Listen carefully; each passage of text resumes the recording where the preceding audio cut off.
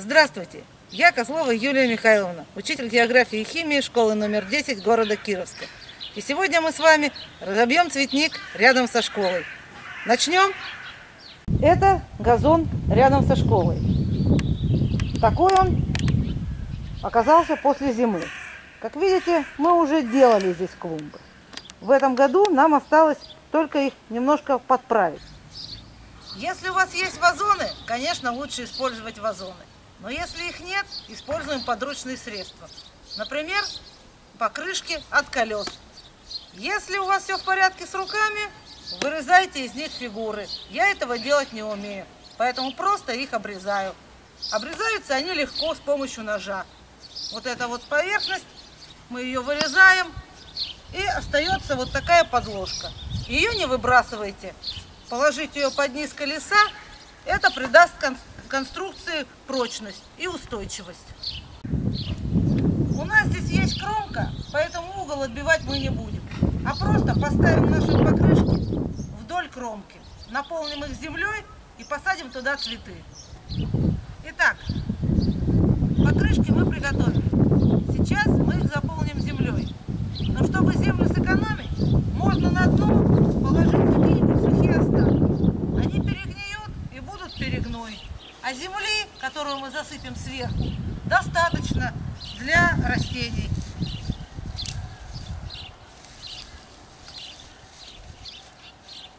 Кладем мусор и высыпаем сверху землю.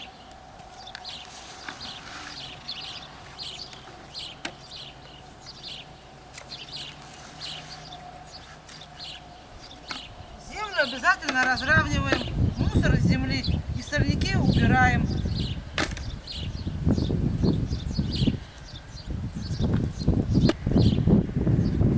Червей оставляем, они нам пригодятся. Теперь надо внести удобрение. Лучше использовать азофоску. Но у нас нет азофоски, у нас есть борофоска. Здесь нет азота. А в качестве источника азота мы внесем кальциевую селитру. Удобрение обязательно вносим в перчатках, потому что иначе можно получить ожоги.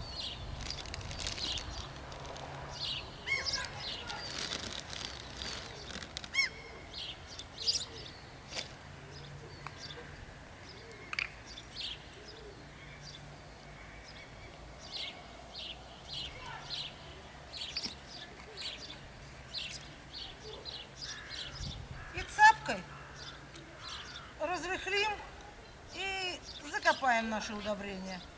И заодно еще уберем мусор.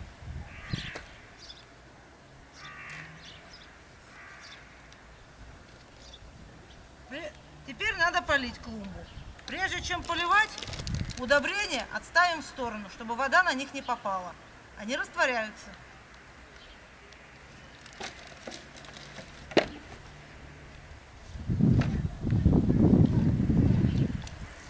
На такую клумбу понадобится примерно 5 литров воды.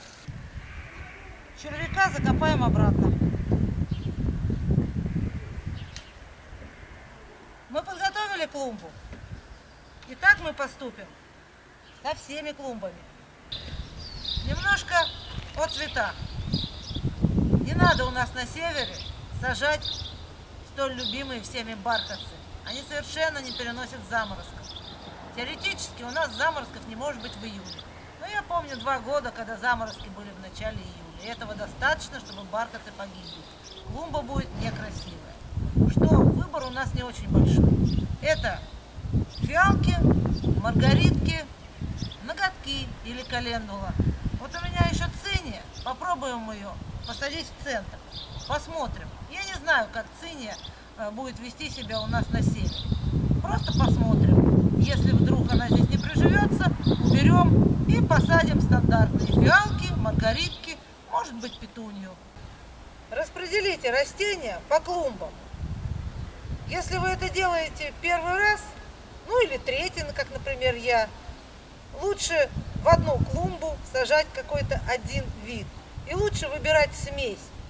э, сочетать цвета и сочетать растения между собой – это целое искусство. Не думайте, что это легко и просто получится с первого раза. Поэтому пусть будет смесь. Она тоже хорошо смотрится. Но вот в одной клумбе пусть, например, будут только фиалки, а в другой только маргаритки. Но в нашем случае в одной клумбе будет календула, э, во всех остальных, кроме первой, будут фиалки. А вот в той первой будут маргаритки. Как посадить цветы? Очень просто. Берем рассаду, делаем лунку, сажаем туда цветок, закапываем, придавливаем. Закапываем, придавливаем. Закапываем, придавливаем. Закапываем, придавливаем. И так пока не посадим всю клумбу.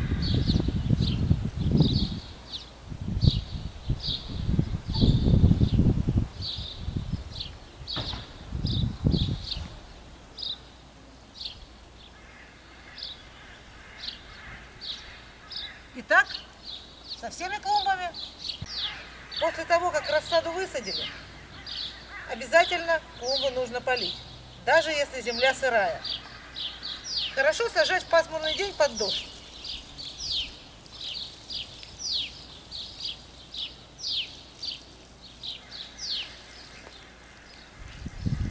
Немного, по чуть-чуть на каждую клумбу.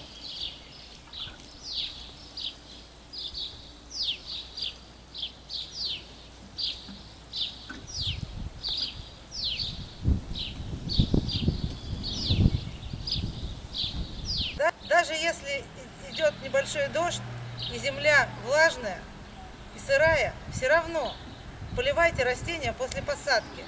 Во время полива земля плотнее прилегает к корням, и растения лучше приживаются. После посадки растения могут лечь, э, подвянуть. Если вы сажаете в жаркий день, то они вообще могут лечь и выглядеть погибшими. Это не страшно.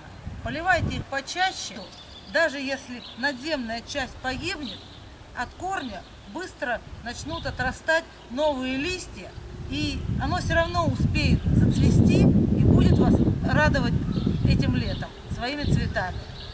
А вот цинию мы посадили в такую импровизированную клумбочку из камней. Я не знаю, как она себя будет вести у нас на севере. Зацветет ли она, поднимется ли она. Посмотрим. В крайнем случае выкопаем и посадим сюда что-нибудь другое. Итак, мы посадили цветы, сделали клумбы. Осталось только убрать все лишнее, подождать, пока поднимется трава и скосить ее, чтобы был аккуратный газончик.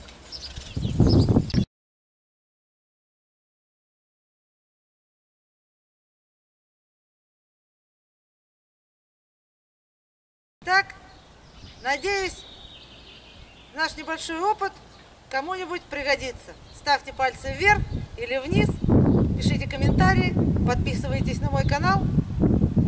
До новых встреч!